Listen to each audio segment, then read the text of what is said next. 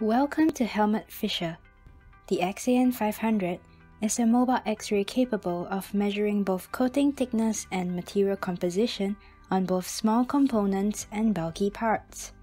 This video series will demonstrate how user-friendly it is to measure samples, calibrate, normalize, and create a report. This is the casing the XAN 500 will come in, which includes a tablet, and the accessories you need for calibration and data transfer. Each device comes factory calibrated, ready to use, straight out of the box. The optional compact measuring box is perfect for measuring small parts in a mobile benchtop instrument. This provides simple transport of a complete measurement system and high quality measuring results on small parts.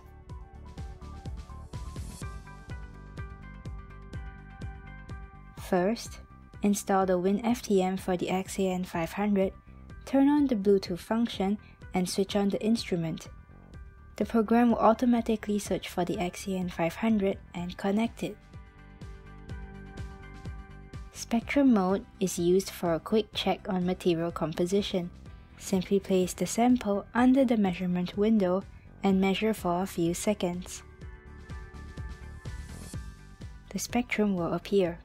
Click on Automatic Search for elements followed by Analyze, and you can find out the percentage, ppm or carat of elements present in the sample.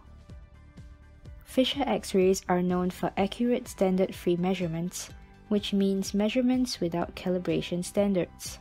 But to get the highest performance, corrective calibration should be performed to adapt to the substrate material, shape of specimen, and a particular coating thickness level.